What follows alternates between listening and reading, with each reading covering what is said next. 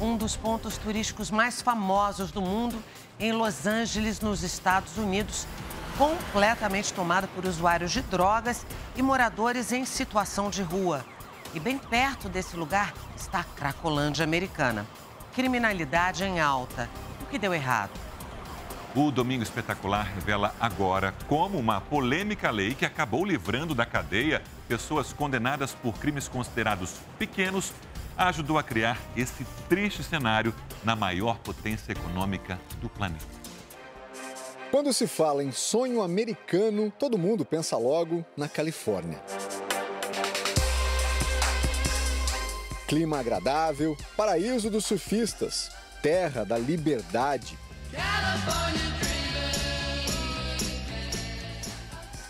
Capital mundial do cinema. Berço das gigantes em tecnologia. Mas como num filme que vai perdendo as cores com o tempo, a Califórnia dourada desbotou. Nos últimos 10 anos, cenas de beleza e prosperidade deram lugar a imagens como estas. Drogas e violência se espalham pelo estado mais populoso do país. A Califórnia tem hoje o maior número de pessoas sem teto dos Estados Unidos. Já são mais de 160 mil. Quase metade de toda essa gente vive nas ruas do condado de Los Angeles, região que reúne 88 cidades. Barracas, tendas improvisadas e carros transformados em casas estão por toda parte. Encontramos pessoas dormindo até nos lugares mais turísticos. Este é sem dúvida um dos maiores cartões postais da cidade, um símbolo de Hollywood. Local onde os turistas buscam fotografar o nome das grandes estrelas do cinema. Mas a Calçada da Fama é também um espaço onde cada vez mais a gente vê pessoas assim, pedindo todo tipo de ajuda. Esta família brasileira que visita Los Angeles ficou assustada com o que viu. É uma impressão um pouco ruim. Há 14 anos, Jamie leva turistas para conhecer as casas dos famosos e nunca viu tanta gente largada nas ruas. Pergunto se isso afeta o negócio. O guia conta que já tentaram invadir a loja e a van dele. Agora eu mantenho esse taco de beisebol aqui para me defender. A apenas uma quadra da calçada da fama, encontramos um acampamento improvisado. A polícia faz revistas frequentes em busca de drogas e produtos roubados. Mesmo se flagrar algum tipo de crime, a maioria das vezes ninguém vai preso. E daqui a pouco você vai entender por quê. Nesta tenda no centro da cidade, encontramos Esperança, uma imigrante mexicana. Ela tem oito filhos e nos conta que vive sozinha, nessas condições, desde que foi expulsa de casa pela família há mais de 10 anos. É perigoso porque nunca sabes. Sim, ela sofreu com Sim, sim, sim. Há pouco mais de uma semana, um restaurante brasileiro foi atingido por balas perdidas aqui em Los Angeles. E parte da entrada ainda está quebrada aqui, coberta com tapume. Vamos conversar com o proprietário para saber o que aconteceu. Pedro explica que polícia e criminosos trocaram tiros na madrugada. Há seis anos, na Califórnia, o empresário diz que nunca viu nada parecido e a situação só piora. Meu sócio, é, justamente depois desse incidente, roubaram o carro dele, quebraram o vidro e roubaram, pegaram a mochila dele com, com um notebook, com documentos, tudo na mesma semana. Los Angeles enfrenta uma epidemia de assaltos no comércio. Foram 800 em apenas um mês, o maior número desde 2010. Nem as boutiques famosas de Beverly Hills escapam. 40 pessoas invadiram uma grife francesa e levaram o equivalente a 1 milhão e 500 mil reais em artigos de luxo. O problema também atinge de forma dramática outras grandes cidades do estado, como São Francisco, sede das maiores empresas de tecnologia do mundo. Lá, quase 9 mil pessoas vivem nas ruas. O uso indiscriminado de drogas e o crime também disparou. Dinheiro não falta. Se fosse um país, a Califórnia teria a quinta maior economia do mundo. O problema, segundo especialistas, é a adoção de políticas públicas equivocadas, como o excesso de tolerância com drogas e crimes. A política de liberação do uso de drogas ilícitas é um tiro no pé. Cada vez, crianças e adolescentes com idades mais precoces vão ter o primeiro contato com o uso das drogas. Eu amo a Califórnia porque sou daqui, mas não gosto nada do que está acontecendo. Meus pais idosos não saem mais de casa porque, se eles forem assaltados e esfaqueados, os policiais só vão aparecer duas horas depois.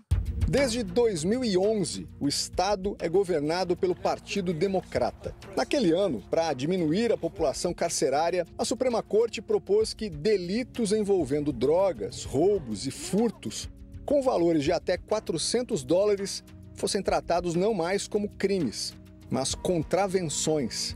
E detalhe, sem pena de prisão para infratores primários. A lei chamada de Proposição 47 hoje só vale para o condado de Los Angeles, mas o valor foi reajustado para 950 dólares, cerca de 4.600 reais. É, mas o que acontece é que todo mundo tem uma falsa ideia que, ah, eu posso, é, é, é tudo de graça, eu posso, eu posso roubar, é só não roubar mais de, de, de mais mil dólares, eu posso ficar roubando. Edwin trabalha como policial aqui há 20 anos e diz que tem muita dificuldade para combater o crime desde que a lei foi aprovada. Esse tipo de crime não acontecia aqui em Califórnia, não era assim. Esse é o problema. Quando as leis não estão funcionando e não, e não tem consequência quando alguém faz um crime ou comete um crime, não, não tem como. Tá sem controle. A comunidade se sente sem seguro, né?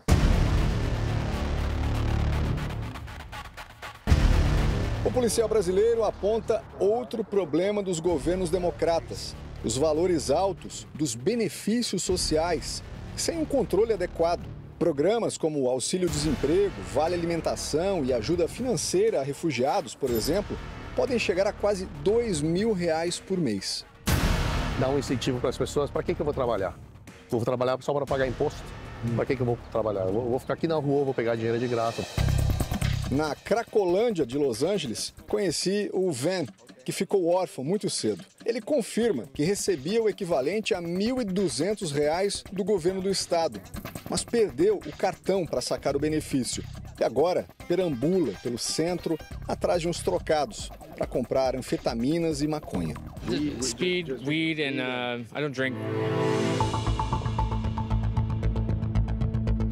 Renato dirige uma organização comunitária que trabalha em parceria com as autoridades de segurança.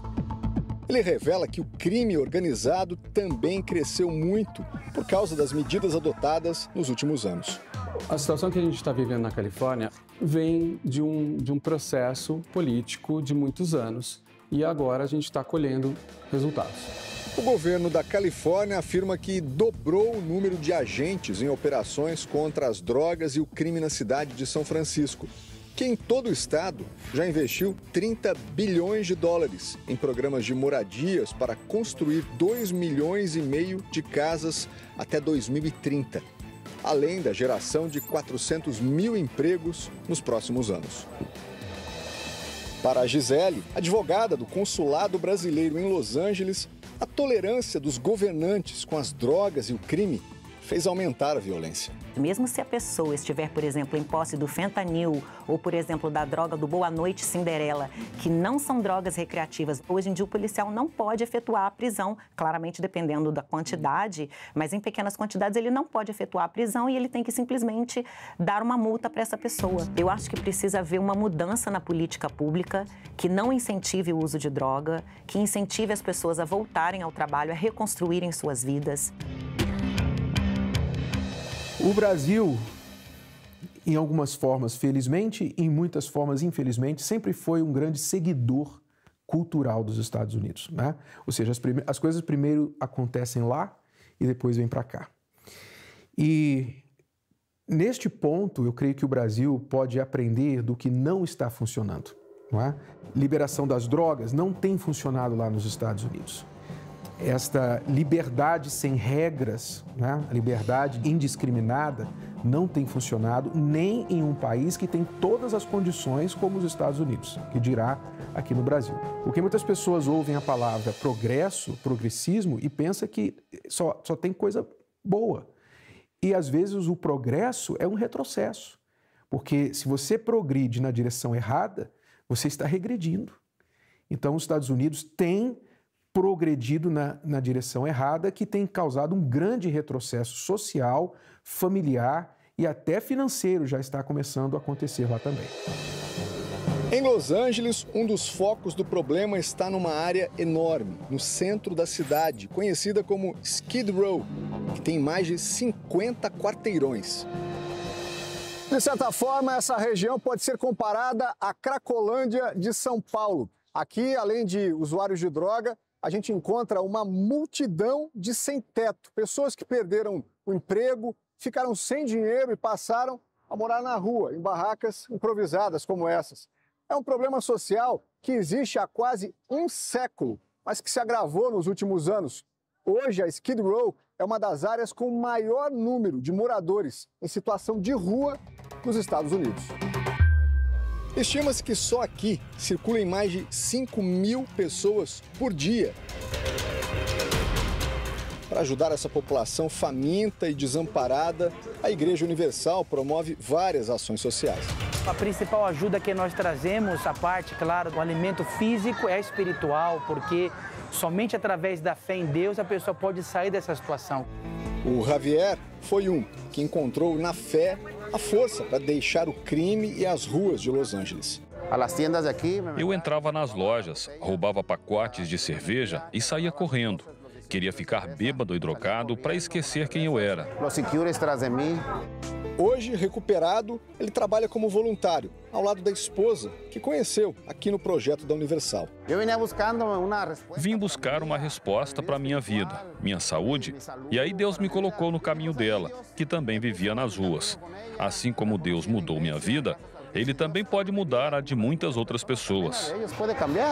Quando a gente fala de fé, a gente não está falando de religião. A gente fala de um poder que está aqui dentro do ser humano de acreditar em algo maior do que ele.